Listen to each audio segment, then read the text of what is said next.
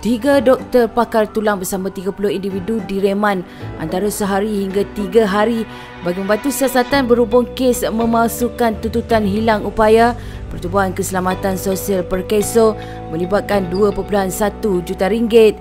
Kesemua mereka yang berpakaian lokap SPRM tiba di Kompleks Mahkamah Georgetown pada jam 9 pagi.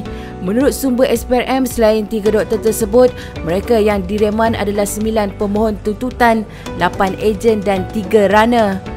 Kata sumber lagi, kesemua yang ditahan berusia lingkungan 26 hingga 60 tahun. Sumber berkata doktor berkenaan ialah doktor pakar tulang dari dua hospital kerajaan dan sebuah hospital swasta di seberang Jaya yang berusia 36, 50 dan 57 tahun. Menurutnya lagi modus operandi kartel tersebut adalah dengan membuat tuntutan palsu melibatkan kecederaan pada bahagian tulang belakang dan ACL.